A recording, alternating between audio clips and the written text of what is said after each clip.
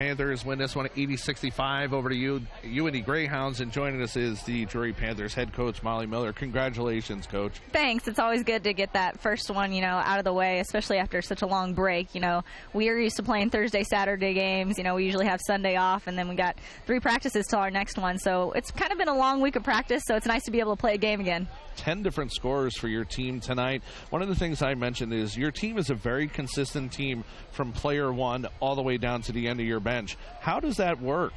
Um, I, I, think it's one of our strengths, uh, especially when you're playing Friday, Saturday, and Sunday. Hopefully, knock on wood, you know, um, that you can go that deep in your bench. Um, they've just improved from day one, and I think um, when you're playing against the caliber players of a Sneaka Shields and Annie Armstrong, if you're guarding them every day, you're going to become better, and if they're guarding you every day, vice versa. So, um, you know, I think kind of our second string, if you want to call them that, is is just as strong, and, and we gain a lot. Is sometimes when we sub, and that's nice to have that um, asset. Sneaka Shields, six points in the first half, a little bit of foul trouble in the second half, finishes the game with a double double. Talk about her for performance and how you try to keep her away from staying out of foul trouble. Yeah, it's tough because she's an aggressive player, um, but you know she's got to play smart, and I think she did play smarter the second half.